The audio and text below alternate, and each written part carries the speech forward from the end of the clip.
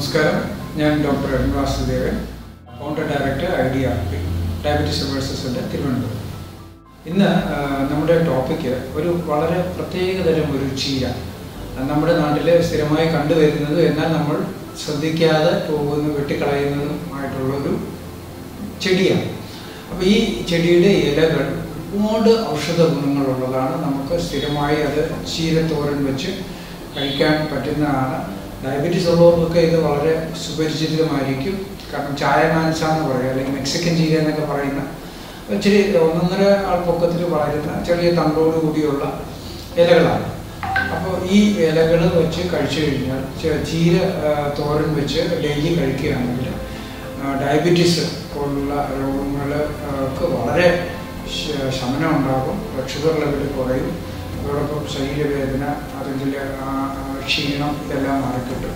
ധാരാളം ഇതിനകത്ത് ഫ്ലാവിനോയിഡ്സും അതേപോലെ കാൽഷ്യം അയൺ മഗ്നീഷ്യം ഇങ്ങനെയുള്ള ധാരാളം സാധനങ്ങൾ അടങ്ങിയിട്ടുള്ളത് കൊണ്ട് തന്നെ ഇത് തലച്ചോറിന്റെ പ്രവർത്തനത്തിനും ഓർമ്മശക്തിക്കും വളരെ നല്ലതാണ്. കണ്ണുകളുടെ കാഴ്ചശക്തി കൂടാനും ഇത് വളരെ സഹായിക്കും. അതോടൊപ്പം നമ്മുടെ ഈ വാതരോഗ സംബന്ധമായിട്ടുള്ള അസുഖങ്ങൾ കഴപ്പ് അതുപോലെ വേദന പിന്നെ കൈകാൽ മടക്കാനും ഒക്കെ ബുദ്ധിമുട്ടൊക്കെ ഉള്ളവർക്ക് ഇത് ഡെയിലി തോരനായിട്ട് കഴിച്ചു ചോറിന്റെ അളവ് കുറച്ച് കൂടുതൽ ഇതിന്റെ ചീര ചീരത്തോരനായിട്ട് കഴിക്കാൻ വളരെ ഗുണകരമാണ്. അതോടൊപ്പം ഈ വെരിക്കോസ് അൾസർ ഉണങ്ങാനും ഇത് സഹായിക്കും.